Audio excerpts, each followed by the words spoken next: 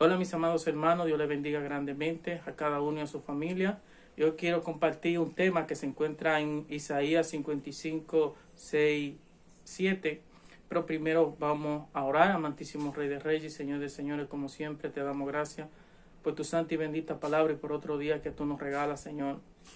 Que tú nos ayudes cada día más, Padre Celestial, a buscarte, a valorarte, Padre Celestial, hoy que hay tiempo, Señor, hoy que tú nos llamas y que hay tiempo, Padre Celestial, que tú dices en tu palabra que mientras estemos con vida, Padre Celestial, siempre y cuando nosotros nos arrepintamos y nos apartemos de todo mal, Señor, tú tienes piedad y misericordia de nosotros. Pero que nosotros no esperemos que sea demasiado tarde, Padre Celestial, porque nosotros no vamos a estar aquí para siempre sobre esta tierra, Padre. Y tú dices en tu palabra que de nada me sirve ganar el mundo entero y que se pierda mi alma, Señor. Te lo rogamos que tú nos ayudes a buscarte, Padre Celestial, que hay tiempo, Padre Celestial, a valorarte y a nunca apartarnos de ti. En el nombre de Jesús de Nazaret y por la sangre derramada en la cruz de Calvario. Amén y amén. Bueno, como le dije, el versículo que estaremos leyendo esta se encuentra en Isaías 55, 7, 6, 7. La palabra de Dios elena en nombre del Padre, del Hijo y del Espíritu Santo. Amén. Dice así. Busquen al Señor mientras puedan encontrarlo. Ya, llámenlo mientras está cerca. Que que él mandó y deje su camino. Que el malvado deje su camino y que el perverso deje su idea. Vuélvanse al Señor y Él tendrá compasión de ustedes. Vuélvanse a nuestro Dios que es generoso para perdonar. Y este tema lleva como título Dios te dice que lo que, que lo busque porque que el tiempo se acaba y mañana ya no hay tiempo de salvación. Quizá ya mañana no haya tiempo de salvación. Entonces, ¿por qué el Señor no dice esto? Porque muchas veces a nosotros nos cuesta entender que nosotros no somos eternos sobre esta tierra. Que nosotros quizás que tengamos bienes materiales, quizás riqueza, fama, eso no nos va a garantizar a nosotros que vamos a ser inmortales y que nosotros vamos a tener y que nosotros vamos a tener paz tampoco o que nunca vamos a enfermar. Entonces son muchas veces cosas que nosotros ignoramos y que el Señor dice que debemos de aprovechar el tiempo. Que, ¿Por qué? Porque los tiempos cada día se ponen peores. Podemos ver como la persona de cualquier cosita eh, hoy se acuestan y ya mañana no están. Entonces el Señor para llamándonos con cuerda de amor, manda a un hermano, manda a alguien, nos habla a través de sueños. ¿Por qué? Porque Él nos ama cuando tú amas a alguien, tú siempre buscas atrás, atrás de él, aconsejándolo, porque no quiere que se pierda o que le pase algo o porque le hagan daño. ¿Por qué? Porque tú lo amas, quiere que, y que esté cerca de ti. Entonces, el Señor nos ama y quiere, no quiere que nuestras almas se pierdan. Pero Él quiere que nosotros aprendamos a amarle y a valorarle y que hagamos como el Hijo pródigo, que entendamos que nosotros dependemos de Dios que no depende de nosotros, que nosotros sí dependemos de Él porque Él no creó a nosotros. Entonces, ¿qué no quiere decir el Señor aquí? Que todo tiene un límite, todo tiene fecha de vencimiento. Así como muchas veces nosotros nos cansamos de que una persona nos esté hiriendo, fallando, haciendo cosas que ellos mismos no les gustaría que le hagan. Porque nosotros nos gusta exigir lealtad, nos gusta exigir sinceridad, honestidad, por ahí nosotros estamos dando ese testimonio, estamos nosotros enseñando con el ejemplo como hizo nuestro Señor y Salvador Jesucristo, que dejó de pensar en sí mismo, demostrando cuál el significado de la palabra amor. Porque amor no es que yo te estoy hablando bonito y por atrás te esté clavando el puñal. Eso no es amor, eso es hipocresía, egoísmo de parte mía. Porque muchas veces no nos sentimos felices si no vemos, si no le hacemos daño a los demás no nos sentimos felices cuando no es a, a, costa de sufrimiento, de dolor ajeno de los demás. Y lo peor del caso es de personas que son inocentes, que en verdad no aman, no valoran. Y sobre todo porque se lo estamos haciendo un Dios que vino a esta tierra a dejar de pensar en su gloria, en su reino, para pensar en nosotros. Porque nos ama y no quiere que nuestras almas se pierdan. Entonces, por esto el Señor dice, busquen al Señor mientras puedan encontrarlo. Porque va a llegar un tiempo que ya nosotros no vamos a poder encontrarlo. ¿Cuándo será eso? Si nosotros morimos sin Cristo, sin haber bautizado y buscado al Señor, y por eso Él dice, yo soy el camino, la vida y la vida, y que nadie llega al Padre si no es por Él, si no es por Jesucristo. Que si nosotros no le buscamos, nos arrepentimos y dejamos de hacer a Dios lo que a nosotros no nos gustaría que nos haga, lamentablemente se va a pedir nuestra vida, nuestra salvación. ¿Por qué? Por cosas pasajeras, por cosas que son vanidad, por cosas que nos llevan a ser injustos a costa de sufrimiento y de dolor ajeno. Pero exigimos lealtad, exigimos que nos den amor, exigimos que nos valoren, que nos sean fieles. Cuando nosotros no lo estamos haciendo, cuando nosotros estamos eh, enseñando con el testimonio, mintiendo, haciendo lo malo, pero decimos que amamos a los demás, pero no estamos dispuestos a sacrificarnos, no estamos dispuestos a cuando tengan necesidad de ayudarles como ellos lo hacen con nosotros y como Jesucristo nos da el ejemplo a nosotros. Porque de hablar bonita cualquiera lo puede hacer, cualquiera puede estar contigo para pasar el rato, cualquiera puede estar contigo porque tú tienes bienes materiales, porque tú le estás dando a esa persona lo que quiere, pero hay día que tú no tengas o que no pueda dárselo. ¿Qué tú vas a hacer? Entonces, esa persona no va a querer estar contigo. Tú vas a querer estar con ella como hace Dios, que quiere estar con nosotros, quiere que nosotros estemos en su reino. Y así mismo como esa persona no quieren estar con nosotros, deciden alejarse de nosotros. ¿Por qué? Porque solamente estaban atrás de los intereses, de la vanidad, de lo superficial, de los placeres. Y esa persona no quiere estar con nosotros. Ellos quieren buscar a alguien que le esté dando eso o más, porque ellos buscan solamente los materiales. Entonces, así mismo, como nosotros nos cansamos de ver que hay personas que son egoístas, que solamente se sienten felices a costa de dolor ajeno, de sufrimiento ajeno, eso mismo pasa con nosotros, con Dios. Dios tiene un límite y por eso nos dice que, que lo debemos de buscar mientras pueda encontrarlo. Busquen al Señor mientras puedan encontrarlo. Llámenlo mientras esté cerca. Ella está cerca todavía. Mientras, mientras veamos que hay hermanos que predican la palabra de Dios, que comparten la palabra de Dios y que el Señor nos, no, viene un remordimiento a nuestra conciencia cuando nosotros hacemos algo malo. El Espíritu Santo no está hablando a nosotros, Dios no está hablando, no está diciendo, mira, no me haga lo que a ti no te gustaría que te hagan, no me traicione, no me mienta, ya tú sabes lo que a ti no te gustaría que te hagan. O así mismo como a ti no te gustaría, tú tienes reglas, como nosotros tenemos reglas en nuestra vida. Dios tiene sus reglas. En su vida, en su reino, Dios tiene sus reglas. Y nos lo dice por medio de su palabra, lo que a él no le gusta que le hagan. Y dice que si nosotros seguimos despreciando, rechazando y no valorando el sacrificio que hizo por nosotros, así como hay personas que no valoran el sacrificio, por más que nosotros estemos dispuestos a humillarnos, a sacrificarnos, a que nos pisoteen, esta persona no nos valora, nosotros nos cansamos. Entonces, si nosotros morimos sin Cristo, lamentablemente, el tiempo se, va se habrá acabado para nosotros. Que el malvado, entonces, ¿qué es lo que quiere el Señor? Cuando dice que le busquemos, busquen al Señor mientras puedan encontrarlo y que lo llamemos mientras esté cerca. No es que lo busquemos así solamente, de que busquemos así mirando para lo leo o en su palabra. No, no, cuando Él nos dice que le busquemos, es lo que quiere que nosotros nos arrepintamos y le busquemos de todo corazón. Que si antes hacíamos lo malo, nos deleitábamos a costa de sufrimiento y de dolor ajeno, que dejemos de hacerlo porque a Dios no le, agrada que aquello por lo cual vino a esta tierra a derramar su sangre, a dejar de pensar en sí mismo, Él quiere que también nosotros lo hagamos con Él.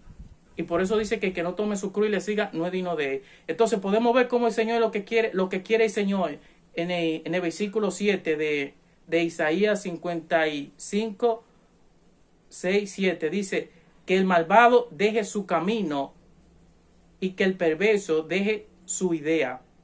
¿Eh? que aquello que hacen lo malo, ¿de qué forma nosotros nos acercamos a Dios?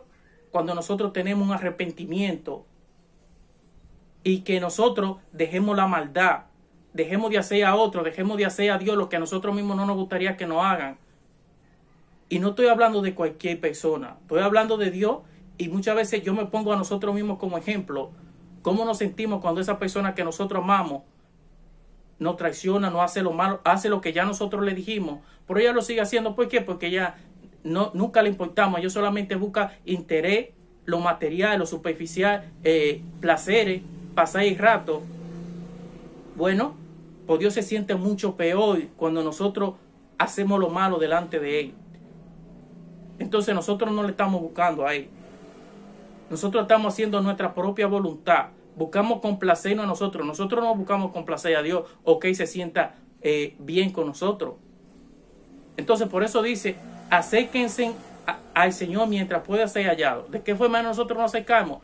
Cuando nosotros le decimos, mira Señor, yo sé que te he fallado, he hecho lo que a mí mismo no me gustaría que me hicieran, por favor perdóname. Entonces yo tengo un cambio que si antes yo robaba, que si antes yo era infiel, que ya no lo haga, que ahora trabaje para hacer lo bueno, para ayudar al que necesite, sin esperar nada a cambio. ¿Por qué? Porque esto fue lo que Jesucristo hizo con cada uno de nosotros. Y por eso Él dice, ejemplo he dado para que como yo he hecho, vosotros hagáis. Que el perverso deje su idea, o sea, deje de pensar en cosas malas, deje de codiciar, ¿eh? deje de hacer, de pensar en cosas desagradables, de idea, de, de maquinar pensamientos que a Dios no le agradan. ¿Y por qué dice el Señor que solamente con el hecho de que yo odie a mi hermano, yo estoy matándolo espiritualmente y que por eso yo voy a ser condonado. Y ahí está también cuando dice que con el simplemente hecho de mirar a una mujer codiciarla, yo estoy pecando. Entonces, de esta forma yo me acerco a Dios cuando yo tengo pensamiento puro de santidad, de hacer el bien, de servirle a Dios y de, servirle a mi prójimo, incluso a nuestros enemigos. Entonces esto es lo que demuestra que yo verdaderamente me estoy acercando a Dios, estoy clamando al Señor demostrando que yo le necesito, que yo dependo de Él, que yo no dependo de mi propia fuerza, sino de Él, porque Él me da la fuerza, Él me da la salud, y me da la paz. Vuélvanse al Señor y Él tendrá compasión de ustedes. Ve, ahora continúa diciendo, vuélvanse al Señor y Él tendrá compasión de ustedes. ¿De qué forma?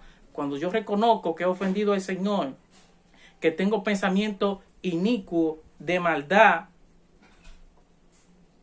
cuando sé que reconozco que he sido una persona injusta, infiel, que le he fallado a Dios, entonces yo me estoy acercando a Dios. Pero cuando yo tengo un arrepentimiento de todo corazón, reconociendo, mira, a mí no me gustaría que una persona que yo amo me hiciera esto, y yo se lo estoy haciendo a Dios. Vuélvanse al Señor y Él tendrá compasión de ustedes. Cuando yo reconozco eso, que con humildad que he fallado a Dios, un Dios que es santo, que he hecho lo malo, que he hecho cosas a otra persona que a mí no me gustaría que me hagan. Pero entonces yo se lo estoy haciendo a Dios. Entonces, Él quiere que yo me arrepienta, que tenga un remordimiento de todo corazón. Si en verdad yo lo amo, porque de nada me sirve a mí ganar el mundo entero. Cuando eso no me va a garantizar paz, no me va a garantizar que yo voy a tener salud. O que aunque yo tenga una cama que puedo dormir tranquilo, eso no me lo va a garantizar. Lo que me lo garantiza es Dios que yo voy a tener paz aún en medio de la tormenta, en medio de los gigantes, en medio de ese desierto. El Señor me da paz, puedo dormir tranquilo, sin preocupación. El Señor cuida de lo mío. ¿Por qué? Porque el Señor dice que el ángel de Jehová acampa alrededor de los que le temen. Es un temor a no contritarlo, a no ofenderlo, a no fallarle. Porque tengamos, tenemos eh, un temor de que el Señor no quiera que nosotros estemos en su lugar santísimo o que el Señor no quiere estar con nosotros. Pues nosotros estamos haciendo cosas malas, actuando de una manera incorrecta, injusta, que a Dios no le agrada. Entonces dice que si nosotros reconocemos nuestros errores y nos apartamos, Dios tiene compasión y tiene misericordia de nosotros. Vuélvanse a nuestro Dios que es generoso para perdonar. Pero Él quiere que nosotros lo reconozcamos Hoy que todavía hay tiempo, que no esperemos que sea demasiado tarde, porque hoy estamos aquí, nosotros somos una vela encendida y cualquier día podemos partir. ¿Cuántas personas no mueren que le da un infarto y se quedan ahí? Porque nosotros no somos inmortales en esta tierra. Entonces muchas veces nosotros ignoramos eso. Nosotros pensamos que pues tenemos salud, quizás porque tenemos bienes materiales, riqueza, que nosotros somos inmortales, que eso nos va a garantizar una paz, una eternidad en esta tierra, pero se nos olvida que vamos a perder nuestra salvación y nuestra vida eterna por querer ganar el mundo, los placeres, ¿eh? lo material, pero no estamos quedando bien con Dios. No estamos buscando a Dios. No estamos buscando a Dios hoy que hay tiempo, hoy que es un día de gracia, de salvación. Dios nos ama, pero todo tiene un límite, lamentablemente. Muchas veces nosotros no queremos eh, aceptarlo, muchas veces queremos abusar de la misericordia de Dios y de las demás personas también. Es algo muy lamentable, pero es cierto. Pero Dios, Dios es un Dios de amor. Pero Él quiere que nosotros aprendamos a valorar el sacrificio que hizo con tanto amor por cada uno de nosotros, dejando de pensar en sí mismo. Porque cuando tú amas a alguien, tú prefieres que te pase todo lo que hizo nuestro Señor Jesucristo. Este es el amor verdadero. No es que tú vas a buscar a la otra persona solamente cuando tiene, cuando te está dando placeres, cuando te está dando cosas materiales, superficiales, que no te van a salvar y que no te van a garantizar vida eterna ni paz en esta tierra tampoco. Entonces Dios quiere que le busquemos hoy que todavía hay tiempo, hoy que todavía estamos en el tiempo de gracia. Porque lamentablemente cuando si nosotros morimos sin Cristo, vamos a ir para un lugar que no es nada agradable. Es un lugar de tormento. El lugar, el infierno no es algo agradable. El sufrimiento que podamos pasar aquí en la tierra no se compara en nada al sufrimiento que se pasará en el infierno. Y dice el Señor que el sufrimiento presente no se compara en nada a la gloria venidera que es en Cristo Jesús. Pero es cuando nosotros decidimos buscarlo, clamar a Dios, hoy que hay tiempo, hoy que todavía estamos en tiempo de gracia. Y que aprendamos a ser agradecidos con todo lo que Dios nos ha dado y con todo lo que Él ha hecho, para que nosotros podamos estar en el cielo con Él, reinando con Él en su reino, aun cuando nosotros no lo merecemos. Dios nos ama, pero Él no nos ama a nosotros porque nosotros seamos perfectos o porque nosotros tengamos algo que ofrecerle a Él, porque Dios es el dueño del oro y la plata, de todo lo que hay, todo es creado por Él. Él nos ama porque es un Dios de amor y de misericordioso, compasivo, pero Él quiere que nosotros aprendamos a valorar eso, todo lo que Él ha hecho por nosotros. Que no solamente nos llevemos de escuchar la palabra de Dios, porque de nada nos sirve que nosotros le digamos a alguien, mira, yo te amo, pero a mí no me gusta que me mientan, que me hablen mentiras, que me roben. Y esa persona lo haga. ¿Eh? No es verdad que eso no es amor, que se siente mal, se siente eh, triste y doloroso. Entonces, eso no es comparado en nada a lo que siente Dios cuando nosotros decimos que le amamos, que le llamamos Señor y Señor. Pero Él nos dice, ¿y por qué no hacen lo que yo hago? Lo que yo le pido le, le conviene a ustedes. ¿Por qué? Porque ella es nuestro creador. Él no depende de nosotros para nada. Nosotros sí dependemos de Él, porque Él nos da la salud. Él hace que el sol salga, la lluvia caiga, el oxígeno. Todo depende de Él. Entonces, son cosas que nosotros tenemos que aprender a valorar y a no menospreciar el sacrificio que Él hizo, que vino a esta tierra a gritar a los cuatro vientos, que Él nos ama, que no se avergüenza de nosotros, a pesar que nosotros le hemos fallado, a pesar que nosotros hemos hecho cosas injustas, que a nosotros mismos no nos gustaría que nos haga alguien que nosotros amamos, eh, sinceramente hablando. Pero Él no se avergüenza de nosotros. Entonces muchos de nosotros nos avergonzamos de Dios, que nos vean con una Biblia, compartiendo la palabra de Dios, de, decir que creemos en Dios. Por él no se avergüenza de decir que es nuestro Dios, que Él nos ama, de gritar los cuatro vientos en una cruz. Entonces quiere que nosotros valoremos ese sacrificio, porque Él nos está llamando con cuerda de amor. Que aprovechemos y le busquemos hoy que estamos en tiempo de gracia, de salvación. Porque si morimos sin Cristo, lamentablemente ya no habrá segunda oportunidad. Hoy hay segunda oportunidad, pero quizá mañana ya no habrá. Así que Dios le bendiga grandemente. Recuerden como siempre que Dios le ama, que cada día nos no vive llamando con cuerda de amor y esperándonos con los brazos abiertos, así como el Hijo pródigo. Así que Dios le bendiga grandemente. Muchas bendiciones.